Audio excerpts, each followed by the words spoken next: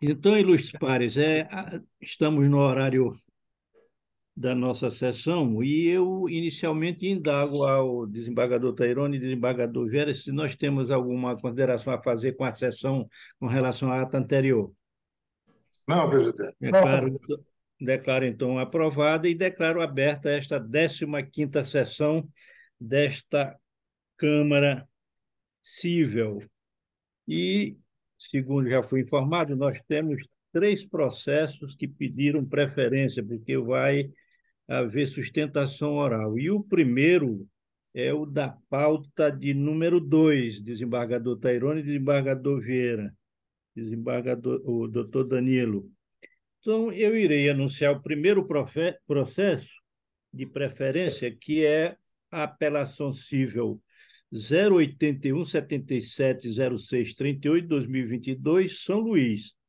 Apelante é Bruno Leonardo Santos Borges, advogado Caio Fernando Matos de Souza, primeiro apelado OISA, advogada Daniele Galvão S. Rego, segundo apelado Google Brasil Internet Limitada, advogado Fábio Rivelli, terceiro apelado Facebook Serviço Online do Brasil Limitado e advogado Leonardo Gomes da Gomes de França e o relator é o desembargador Josemar Lopes Santos. Não consta parecer da Procuradoria. O, o, advogado ou a advogada que está habilitada para fazer a sustentação oral, qual é a parte que ela representa? Apelada. Porque nós temos é, é, é, dois apelados aqui, Oi e, e Google. É a Google e era quem pediu a sustentação foi o Fábio Rivelli, mas ele ainda não entrou na sessão. Então, é, é, considero ele não presente ao ato.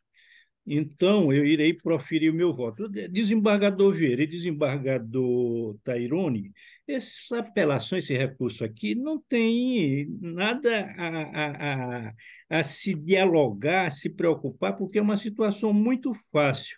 O apelante aí, no caso, que é o Bruno, ele pretende que as apeladas forneçam seus dados telefônicos, telemáticos, de geo geolocalização IERB, do dia 12 de 6 de 2013, em especial às 12 horas e 30 minutos daquela data. O, o juiz de base indeferiu a petição inicial e extinguiu o processo. Em suas razões recursais, o apelante sustenta possuir interesse no fornecimento dos dados para o ajuizamento da revisão de revisão criminal.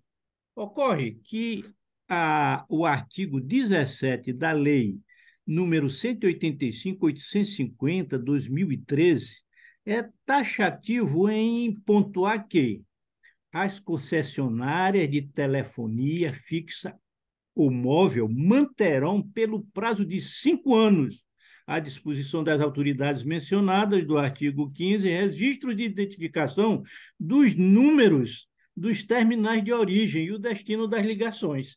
Então, aqui, e Luiz Pares, se cinco anos é o prazo máximo que as apeladas estão obrigadas por lei a guardar os dados relativos a seus serviços, o pedido de fornecimento de tais dados realizado pelo apelante depois de nove anos, revela a ausência de interesse de agir, e eu aqui estou, conhecendo do apelo e negando a ele provimento. É como voto, Ilus Pares. Desembargador Tairone, como voto? Acompanhe, presidente. Desembargador Vieira. Acompanhe também, presidente. Anunciando o julgamento. Recurso conhecido e negado a ele provimento, por unanimidade sem parecer ministerial. O, outro processo de preferência que foi anunciado aí pela secretária é o quarto processo da pauta. Eu pergunto se o advogado está presente. Presente, Excelência. Ah, está presente, né? Então, irei anunciar o processo. É apelação civil 081 37 59 49 2017, São Luís.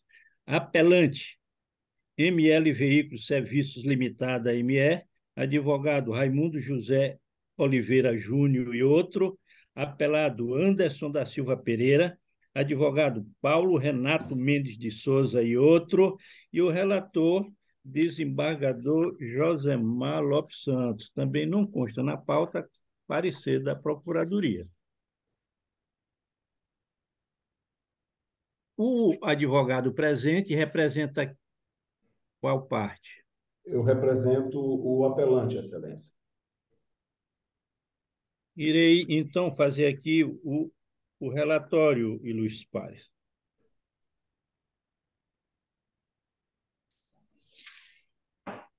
Cuido dos autos de apelação interposta por ML Veículos e Serviços Limitada contra a sentença exarada pelo juízo de direito da 12ª Vara Cível do Termo Judiciário de São Luís, da comarca da Ilha de São Luís, que, nos autos da ação de rescisão de contrato de compra e venda e seus acessórios, combinado com pedido de indenização por danos materiais e morais, ajuizada contra si e contra Banco Bradesco Financiamentos SA, por Anderson da Silva Pereira, julgou parcialmente procedentes os pedidos formulados na inicial.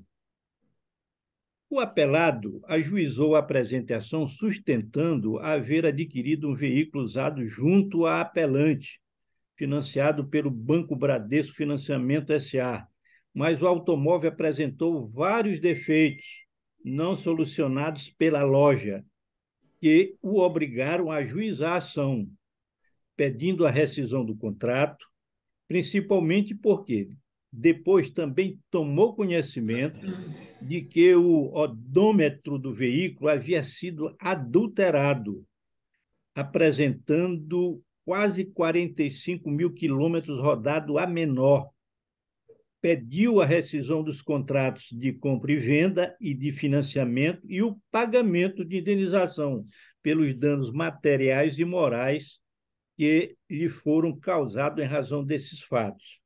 Em suas razões recursais, atribuindo a alteração do odômetro a um conceito que se fez necessário e sustentando haver solucionado os demais defeitos apresentados pelo veículo, a apelante pede a reforma da sentença para o julgamento pela total improcedência dos pedidos iniciais. Subsidiariamente, pede a exclusão da obrigação de ressarcimento das despesas e taxas do veículo, alegando a existência de acordo anterior formalizado no âmbito do PROCON.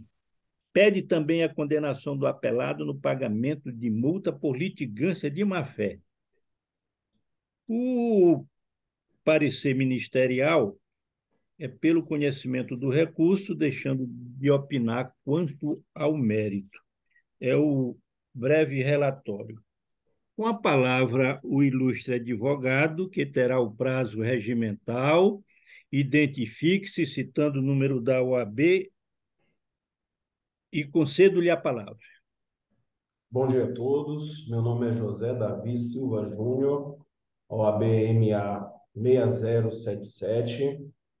Farei uso da palavra pelo apelante, é, desembargador Josemar, excelentíssimo senhor presidente desta Câmara e relator deste processo, desembargador Vieira, desembargador Tairone, doutor membro do Ministério Público, doutor Danilo, doutora Rosângela, secretária, demais serventuários e colegas que porventura estejam acompanhando a sessão. É, de fato, excelências, é, se verifica que, diferente do que foi noticiado, inclusive no processo, né, onde ele, vou começar falando da questão dos, das transferências e dos IP, do IPVA. O próprio recorrido, a gente consegue visualizar nos autos, ele se responsabilizou por custear essas, essas despesas. O que se deu, o que é tanto do veículo, o veículo, o negócio foi feito com o veículo dado de entrada e o outro e o veículo repassado para ele, que é o veículo objeto do, do processo. Então, as despesas é, intrínsecas desses dois veículos, ele se comprometeu a pagar, tendo que pagar o IPVA do gol que ele deu de entrada, porque não era registrado na base territorial de São Luís, e sim no Distrito Federal. Então, dessa forma, a responsabilidade era dele ainda por essa despesa. Então, é, determinar que ele pague essas despesas não, não se configura nenhuma irregularidade realizada pela, pela apelante. Né? De igual modo, excelências, é, noticiou também nos autos o apelado de que houve defeitos no veículo. Só, excelência, que em nenhum momento esse veículo, essa, essa, essa informação foi repassada diretamente para a loja e o veículo não foi levado à loja para que fosse feito é, é, esses reparos nessas supostas, é, desses supostos vícios que tinha apresentado o veículo. Inclusive, o próprio proprietário da apelante, né, ela, ele se chegou a pedir diversas vezes que o recorrido levasse o veículo até a loja para que pudesse avaliar esses, esses possíveis problemas. Só que sem nenhuma justificativa não aconteceu assim. Então, o fato é que não há nos autos nenhuma prova de que o, a apelante tenha sido provocada e não tenha atendido né, aos reclamos do apelado. Né? Apesar de tudo isso, excelência, a gente não pode olvidar do processo que tramitou junto ao PROCON. Né? No processo do PROCON, houve um acordo celebrado entre as partes. Né? E, inclusive, no ID 8109244, existem documentos que provam que o, a, a apelante cumpriu devidamente com esse, com esse acordo. Né? Então, a própria sentença ela foi silente com relação a esse acordo e, inclusive, provocada via embargo de declaração, mas não houve a apreciação do mérito desses embargos. Então, no que diz respeito, por exemplo, ao item C do dispositivo sentencial, que condenou a requerente na obrigação de restituir o recorrido nos valores pagos pela transferência e pelo IPVA, né? Houve uma omissão, porque não foi apreciado o acordo que foi feito no PROCON, que constava lá. Inclusive, no ID 8109244, página 3 e 4, tem o termo de acordo, onde consta um, um, item que diz que o mesmo já foi entregue e todas as taxas, como a transferência e o IPVA referente à negociação, já foram negociadas e acertadas. Isso no termo de acordo celebrado junto ao próprio apelado. Né? Então, o, esses pedidos de restituição, na verdade, por ter sido resolvido amigavelmente, não poderia ser objeto, inclusive, de imposição é, é, do decreto condenatório aposto na sentença. Correto?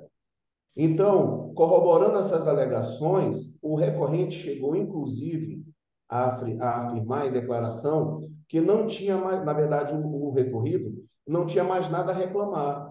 Na apelação, nós juntamos um, um, uma, uma imagem do ID 8109244, na página 5, que diz que o, o, o recorrido, né, o Anderson, ele não teria mais nada a reclamar, tanto com relação às despesas, quanto ao defeito que ele alegou, que foi a troca da roda.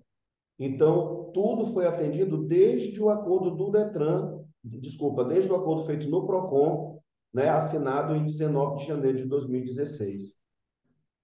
Vocês estão me olhando direito? Deu um problema aqui na minha imagem?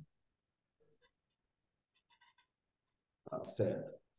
Portanto, excelências, é, não existem fundamentos para que seja mantida a condenação com relação ao IPVA e à transferência, bem como a reparação no que diz respeito aos, aos supostos defeitos, porque foram todos resolvidos nesse processo feito no PROCON, certo? É, o, e o outro fator importante, que foi inclusive um dos motivos da condenação, foi essa uhum. suposta alteração de odômetro. Né? Nos autos consta, de forma esclarecida, que o odômetro original do veículo ele deu problema e precisou ser trocado. E esse veículo Inclusive, ele era de um proprietário anterior, que é o senhor Clemilton, que na audiência de instrução ele admitiu que ele era proprietário do veículo, né? E esse veículo apresentou problemas no odômetro por causa de um problema de bateria e resultou uma pane no painel. E esse painel precisou ser trocado. Né? Esses painéis mais modernos, eles são blindados de fábrica. Então, é muito difícil fazer uma, uma adulteração de, de quilometragem. Então, ante esse defeito e a empresa tendo, tendo recebido o carro para colocar em negociação para outro cliente, ele acabou que precisou trocar esse odômetro.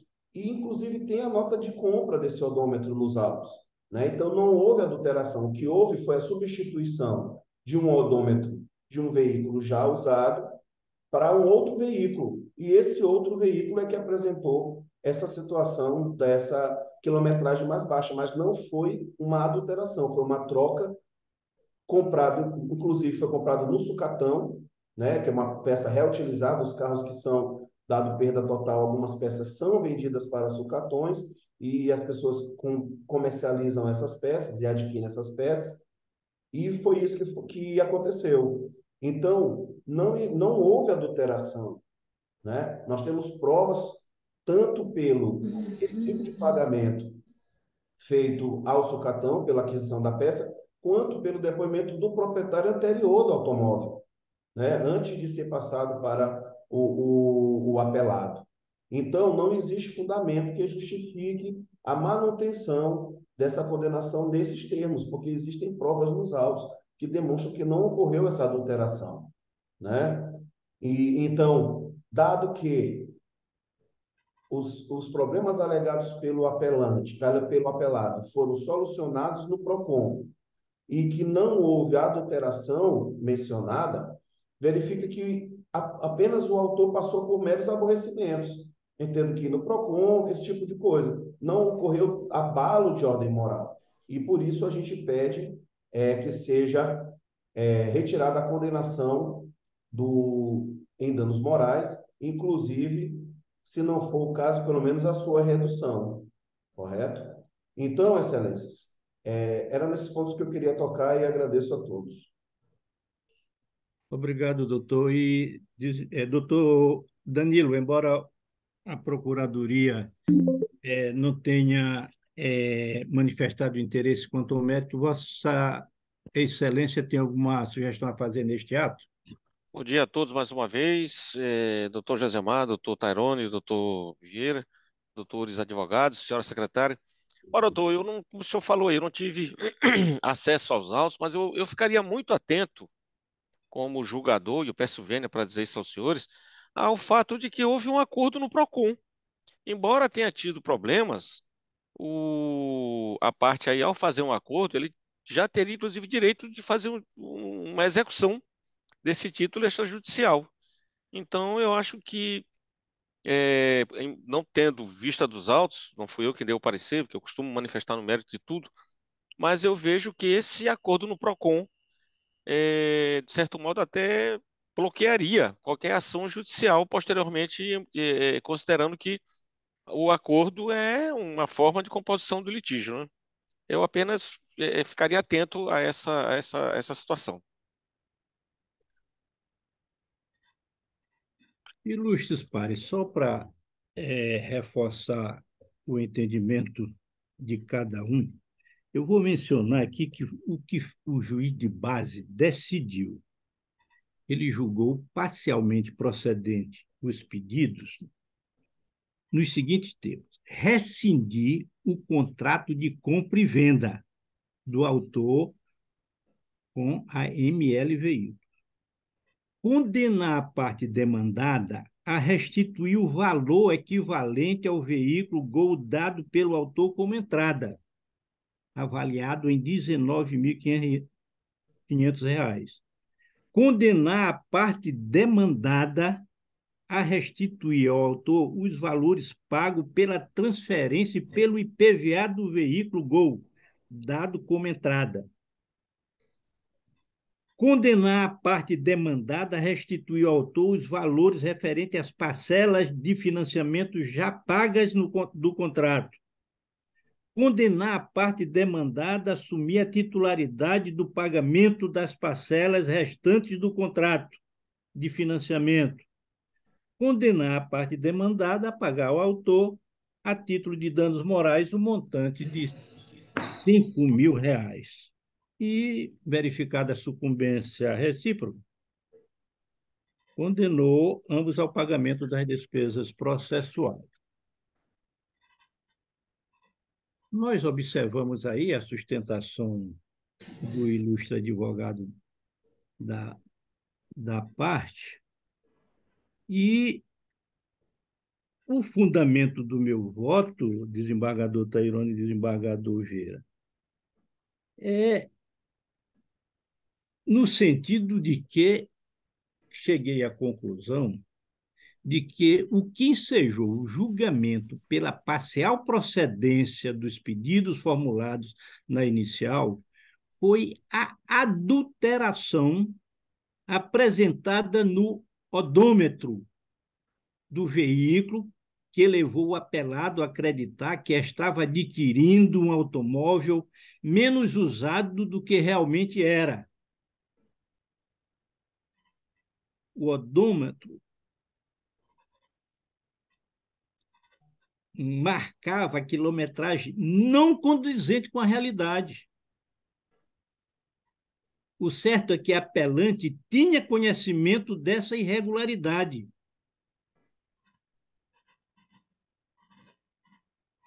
Neste, diante dessa situação, Luiz Pares, restou violado o artigo 6 inciso incisos terceiro e quarto do CDC.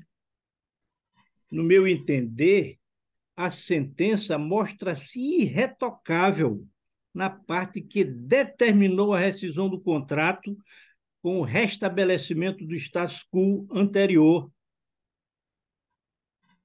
vez que constatado o defeito no serviço e a abusividade na conduta da apelante, bem como os prejuízos morais ocasionados ao apelado, que foi ludibriado por ocasião da compra de um veículo, em razão da qual se obrigou ao pagamento do valor de 20 mil reais em 48 prestações mensais, além de ter dado seu veículo anterior e ficado sem o referido meio de transporte.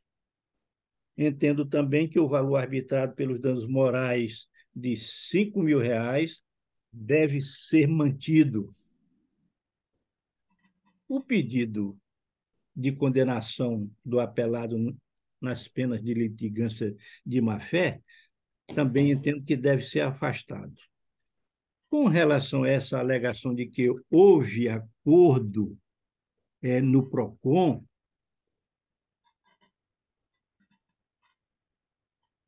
esse acordo não foi cumprido, certo? Portanto, eu aqui eu estou conhecendo da apelação e nego a ela provimento, mantendo a sentença como proferida. É como o voto, desembargador Tairone. Com a palavra. Acompanhe, Vossa Excelência. Desembargador Vieira. Me acompanhe, presidente. Anunciando o julgamento, nossa secretária por votação unânime, é, recurso conhecido e negado a ele provimento. É, ausente interesse ministerial. Agradeço a presença do ilustre advogado e irei anunciar o outro processo de preferência, que é o, o processo de, da pauta de número 5,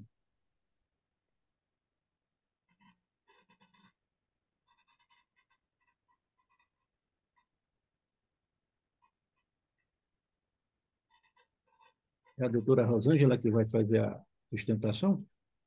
Sim. Então, irei anunciar o processo. É apelação civil número 0039935136, 2014, São Luís. Primeiro apelante, IMPA Projeto Residencial Esportes Garden Holandeses SPE 56 Limitada.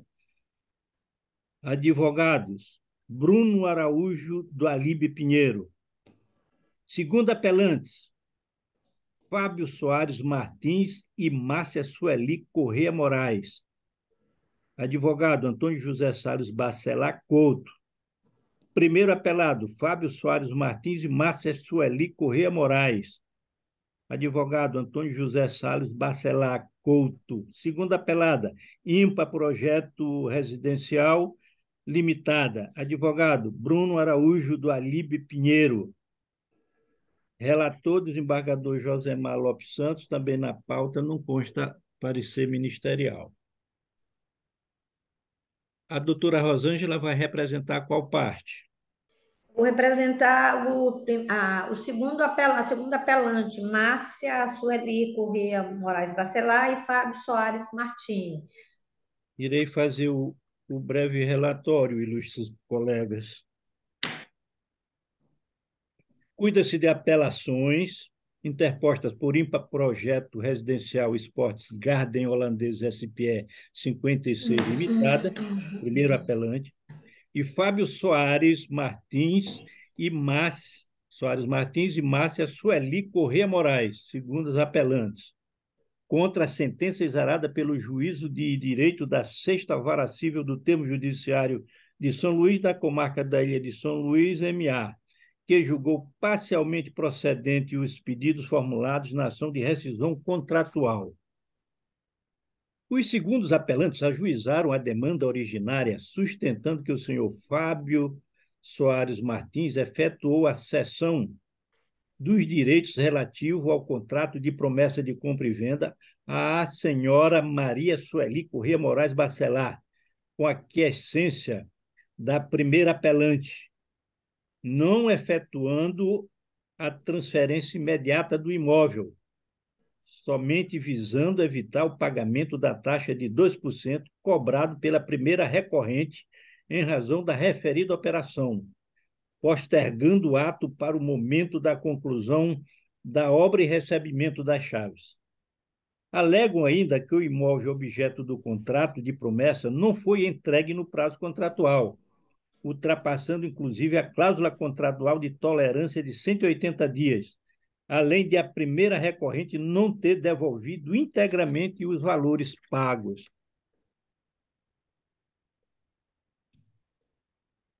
Em razão do acima delineado e por motivo de ordem pessoal, alega que a senhora Márcia Sueli Correia Moraes Bacelar optou por adquirir outro imóvel para fins de moradia, pontuando ainda que foi cobrada indevidamente por, por taxas condominiais, fatos que os levaram a pleitear a rescisão do pacto debatido, a inversão da multa moratória contratual de 2%, indenização por lucros cessantes e indenização por danos morais.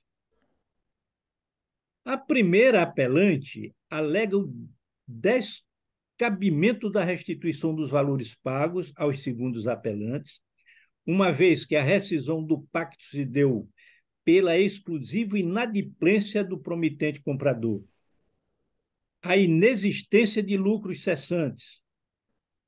Essas alegações são feitas pela primeira apelante. Então, inexistência de lucro cessante diante da ausência de demonstração de efetivo prejuízo sobre referida questão, e, portanto, inobservância ao artigo 402 do Código Civil.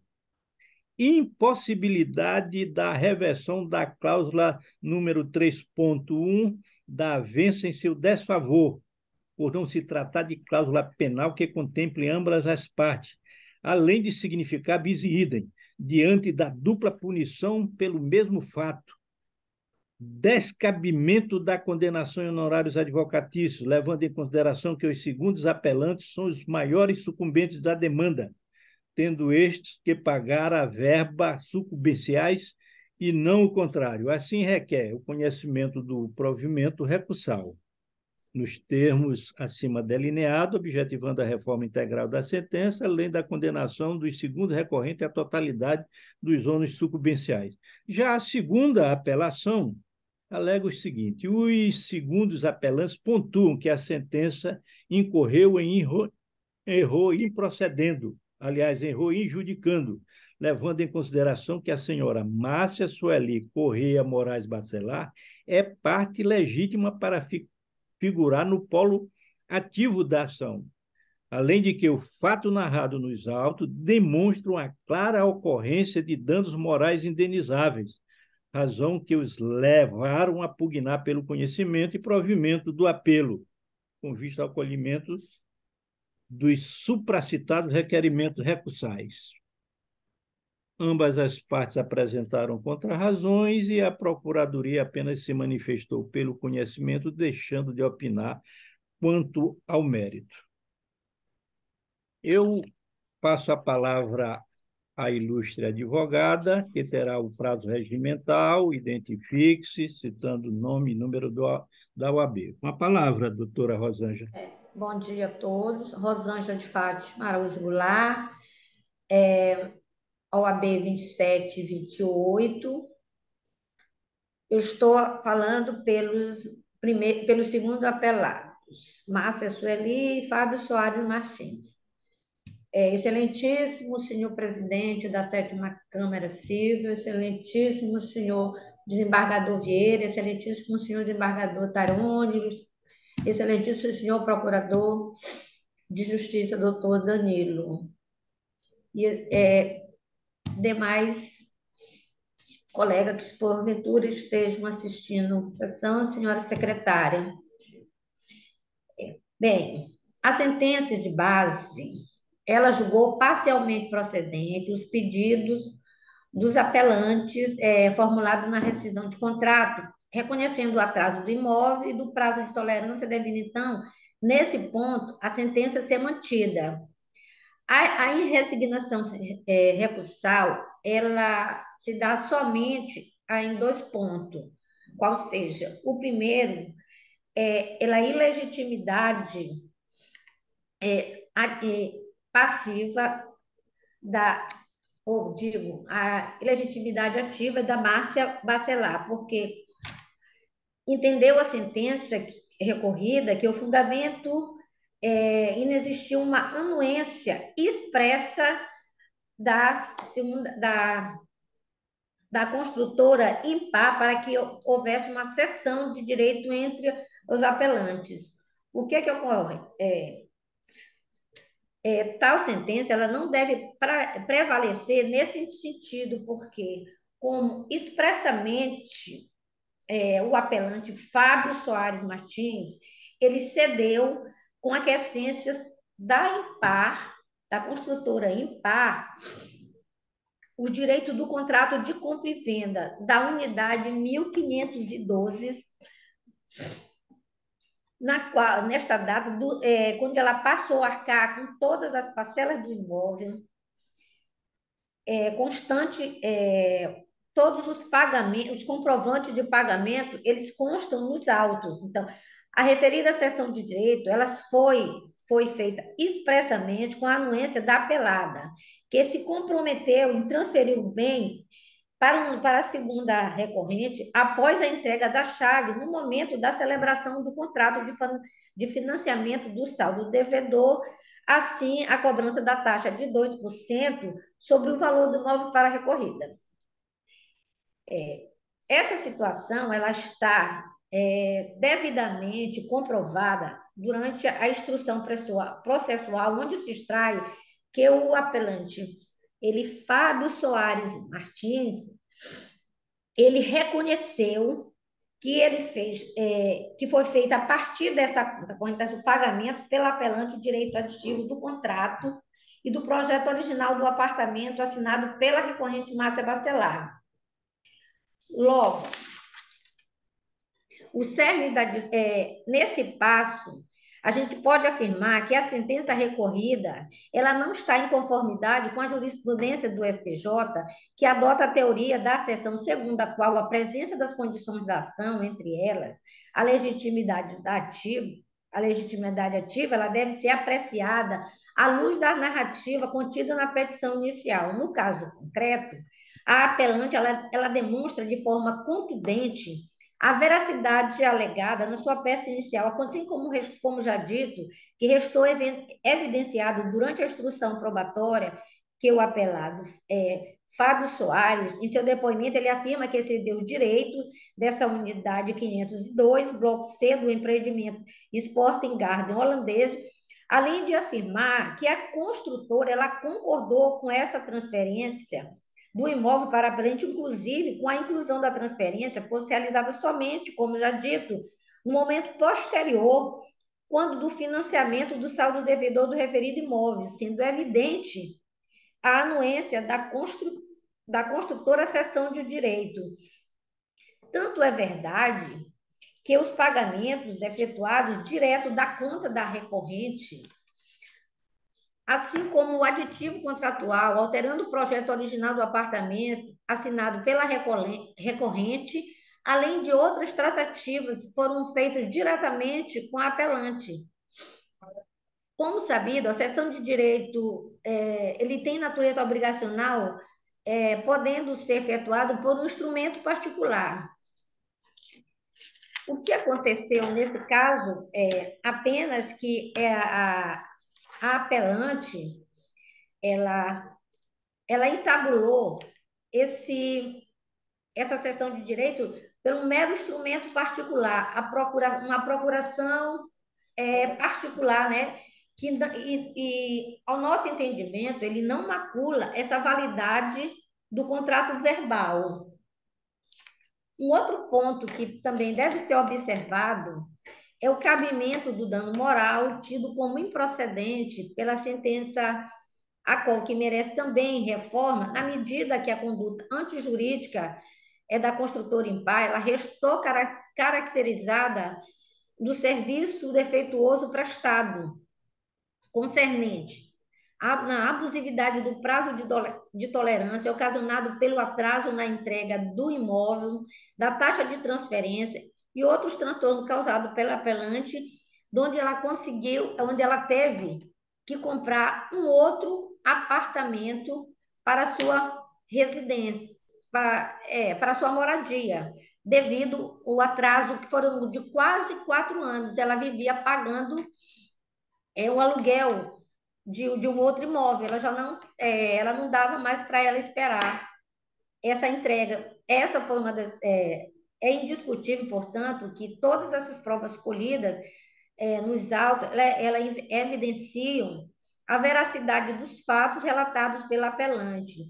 Em razão disso, é, pede à apelante, a essa dota Câmara Civil, que dê provimento ao recurso da apelante Márcia Bacelar para reconhecer sua legitimidade ativa e, por conseguinte, é que sejam é, acrescentar julgado procedente no que tange a indenização por dano moral, devendo ser mantida a sentença é, na parte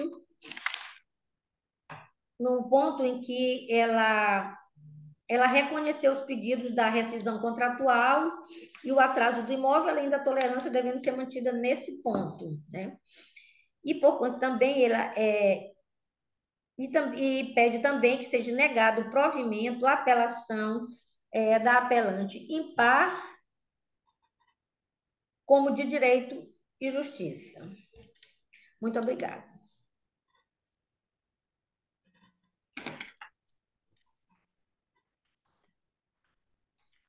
Ascensão, presidente.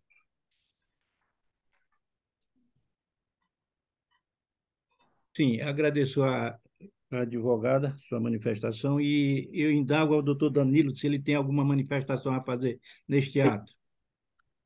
Excelência, eu agradeço a oportunidade, mas de fato eu não entendi a dinâmica desse procedimento, desse processo aí. Eu vou, dessa vez eu peço sua compreensão e dos demais jogadores para me abster completamente. Agradeço. Desembargador Tairone, desembargador Vieira, o juiz sentenciante é, com relação a essa preliminar sustentada aí pela ilustre advogada, o juiz extinguiu o processo em relação a essa segunda requerente, no caso, a Márcia Sueli. É, entendendo ausência de prova de sessão contratual válida. O juiz de base entendeu a ausência dessa prova da concessão contratual. Então, vamos, primeiramente, é, analisar essa questão preliminar. No meu voto aqui, desembargador Taironi, desembargador Vieira, eu digo o seguinte: a irresignação do segundo apelo quanto à ilegitimidade ativa da senhora sua Márcia Sueli Corrêa Moraes Bacelar não merece guarida. A cessão de direitos sustentada não foi legalmente perfectibilizada, não tendo assim atendido às exigências do artigo 299 do Código Civil, diante da inexistência de ausência expressiva da primeira apelante. Além disso, inexiste observância ao prescrito na cláusula oitava do pacto contratual, ao, ao prever que a sessão dependeria da anuência prévia e expressa da primeira apelante, que somente se exaure após a apresentação de documentação que atesta a idoneidade jurídica e econômica da cessionária e ao pagamento da taxa de 2% sobre o valor da venda pactuada. Portanto, no meu entender, a sessão se mostra inválida, não atendida, pois não atendida a cláusula contratual pactuada, na inteligência do artigo 18 do CDC. Portanto, ilustres pares, eu estou rejeitando, entendendo que o juiz de base agiu corretamente ao verificar a ilegitimidade ativa da senhora Márcia. Como vota o desembargador Tairone? Sem som, doutor.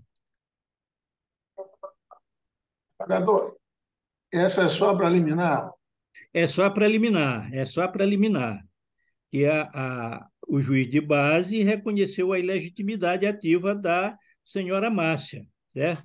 E a advogada, neste, em sua sustentação, está alegando que ela tem legitimidade. E eu estou reconhecendo essa ilegitimidade diante da inexistência de ausência expressa da primeira apelante com relação a essa sessão contratual.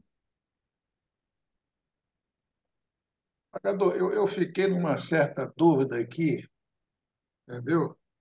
Porque parece que na espécie aí, na questão, existe algumas, algumas indicações de que a parte teria feito alguns pagamentos, teria feito algumas tratativas com relação a essa questão, e me parece que daí é que se está alegando esse, esse interesse, entendeu? Porque me parece que a decisão de primeiro grau não é para reconhecer titularidade, né? me parece que é para reconhecer algum direito, direito à restituição, à indenização, alguma coisa nesse sentido, né? que não vai estabelecer uma titularidade, até porque, de fato, não tem, não pode ter duas titularidades em relação a, a, ao bem, já que a, a, sua origem não trata disso. Agora, eu fiquei em dúvida com relação ao interesse, né? se aparentemente não teria interesse, digamos assim, na, na, na, na procedência da questão, até porque tem valores seus envolvidos, entendeu? E parece que isso aí tem, essa, tem uma certa indicativa que tem esses valores, tem uma certa tratativa, entendeu? Então, desembargador Tairão, só uma parte. Não, por não. Só porque, na realidade, são dois, são dois apelantes aí. É o, o Fábio Soares Martins e a Márcia. Só que é por que a Márcia, o juiz de base, considerou ela parte legítima? Porque não existe, inexiste prova dessa sessão, certo?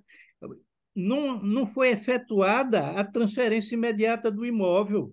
Certo? Isso, segundo os autos, para evitar o pagamento da taxa de 2% cobrado pela primeira recorrente. em razão dessa operação e foi postergado posteriormente o momento da conclusão da obra e o recebimento da chave. Só que essa obra não foi entregue no prazo.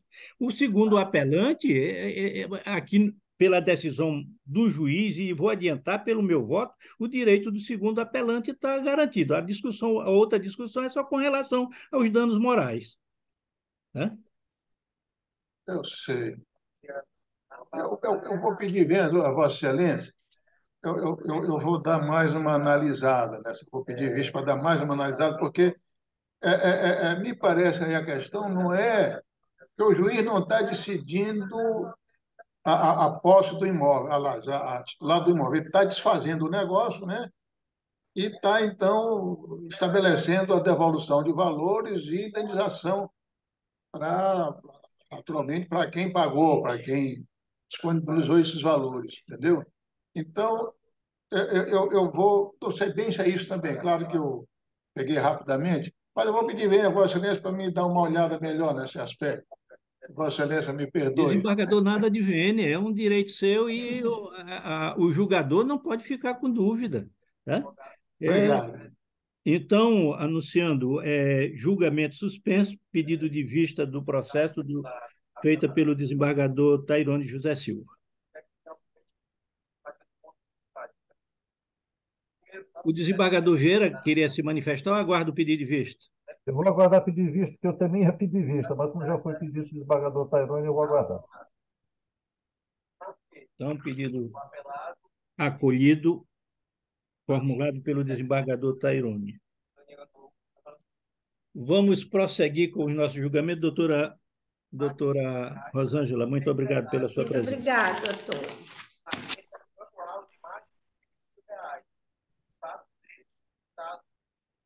Não temos mais sustentação oral, né, senhora Ah. secretária? A doutora Valquíria, que é do da parte do apelado da apelação civil de número 3 da pauta, ela pediu sustentação e está na sala. Ah, então vamos dar preferência para esse processo.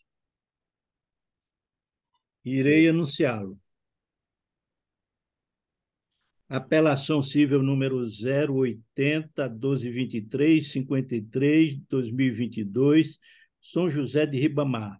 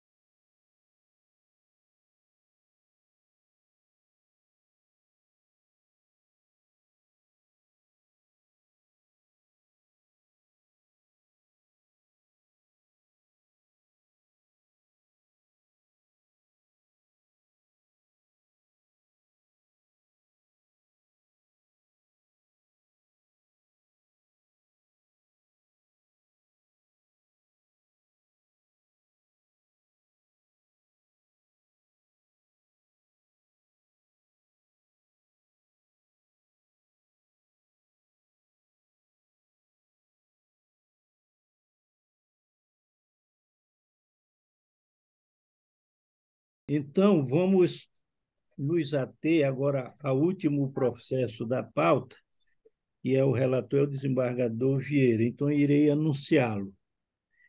Apelação civil número 085085734-2018, São Luís. Apelante Raimundo Fernandes Pinheiro. Advogados Eliane Souza Fernandes e outros. Apelado Estado do Maranhão, procurador Romário José Lima Erscócio, relator desembargador Antônio José Vieira Filho, também aqui não consta da pauta, parecer ministerial. Com a palavra o eminente relator. Senhor presidente, eminentes pares, trata-se de ação de obrigação de fazer com cobrança de reajuste salarial, em que o autor, senhor Raimundo Fernandes, professor da rede estadual de ensino, afirma que a Lei Federal 11.738-2008 institui o piso salarial nacional do Ministério, do, do magistério. O que garante o recebimento do entendimento dos rendimentos oriundos do citado cargo, obedecendo o valor mínimo estipulado pela lei federal. Assevera, ao fim, que recebe valores inferiores ao piso nacional, de modo que a diferença deve ser paga à autora por fazer jus ao recebimento dos referidos valores. Na sentença, o juiz do primeiro grau entendeu que a parte autora percebeu remuneração básica superior ao piso salarial. A alegação do senhor Raimundo, que é o apelante, diz que a sentença afronta a tese fixada na ADI 4.167 do STF, que acredita que os autos comprovem, comprovam o recebimento de valor inferior ao piso nacional. O Estado do Maranhão pugna pela aplicação da jurisprudência firmada no âmbito do, do TJMA entendimento que o estabelecimento de piso nacional se configura um valor mínimo de remuneração dos professores, não percentual de reajuste. O parecer da Procuradoria de Justiça, da doutora Flávia Tereza de Viveiros Vieira, é pelo conhecimento do recurso, sem opinar sobre o mérito. É o relatório, presidente. O doutor Danilo tem alguma manifestação a fazer? Excelência, é, eu estava me lembrando justamente disso aí que o, o desembargador Vieira citou a jurisprudência do Tribunal de Justiça é bem clara nisso aí. O, o, a fixação por lei federal de valores é, não é percentual de reajuste, é apenas o mínimo que o Estado deve obedecer. Eu, eu, pelo que eu vejo aí, o Estado obedeceu. Então, eu sou pelo desprovimento do apelo. Desembargador Tairome, como vota? Ainda não votei, presidente, só relatório. Ah, é, é, é, desculpe. Acompanhe relator, presidente. Não, ele ainda não votou. Ele ainda não votou, ele fez apenas o relatório. Nós estamos antecipando aqui o resultado aleatoriamente. Ah, tá Desembargador Vieira, com a palavra. Mas, mas os fundamentos do doutor Danilo foi excelente e que eu acompanho. O seguinte, segundo a STJ, a Lei Federal 11.738-2008 delimita os vencimentos inicial da carreira do magistério público da educação básica, sem determinar da incidência automática em toda a carreira e reflexo imediato sobre demais vantagens e gratificações, o que se, se deve ser determinado pela legislação local. O que isso quer dizer? Que a, legislação, que a lei federal estabelece o piso mínimo, entretanto, sem os devidos reajustes, e que isso poderia se tratar através de lei estadual. Acontece que o artigo 32 que já é a lei estadual 9.860-2013, o artigo 32 do Getúlio Magistério, que assegurava a aplicação automática do reajuste da carreira, foi declarado inconstitucional no julgamento do mandato de segurança 0800-330-81-2018 da Lava do desembargador Kleber. Como não merece acolhimento a pretensão do reajuste de vencimento básico recorrente, em vista de que caso em apreço, comprovado recebimento de valores de vencimentos acima do piso estabelecido na lei federal. Como se não bastasse o nosso tribunal já ter reconhecido a inconstitucionalidade do artigo 32 da lei que estabelece a porque a lei federal diz que o efeito não é ex tunc, é ex nunc. Eu cito essa, essa, esse acordo do desembargador Kleber, mais um do desembargador Jorge, e com essas considerações eu conheço do recurso interposto por Raimundo Fernandes para o mérito negar de provimento, mantendo incólume assim tudo a sentença pré gastada. É como vota. Obrigado, desembargador. Doutor desembargador Tairone. Agora sim, né? acompanha o relator. Também, agora sim, acompanhe o relator. Né? Então, anunciando o julgamento, é, recurso conhecido e, man- Provido.